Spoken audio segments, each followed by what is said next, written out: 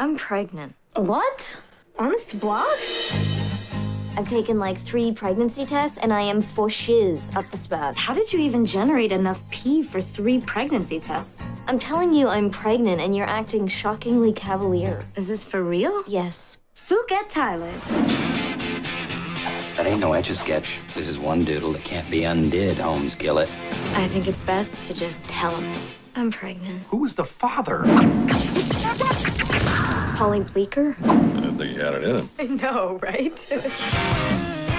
you should look at adoption ads. They have ads for parents? Yeah. Hi, I'm Vanessa. You must be Juno. Hi, I'm the husband. A couple of baby-starved wingnuts. Dude, that thing is freaky looking. I am a sacred vessel. All you've got in your stomach is Taco Bell. You think you're really gonna do this? Yeah, but I'm guessing it looks probably like a sea monkey right now. We should let it get a little cuter, right? Great. Keep it in the oven. When this is all over, we should get back together. Are you still gonna think I'm cute when I'm huge? I think you're beautiful. Did you by any chance barf in my urn? I would never barf in your urn. Did you see that coming when she sat us down here? Yeah, but I was hoping she was expelled or into hard drugs. You're like the coolest person I've ever met, and you don't even have to try. I try really hard, actually.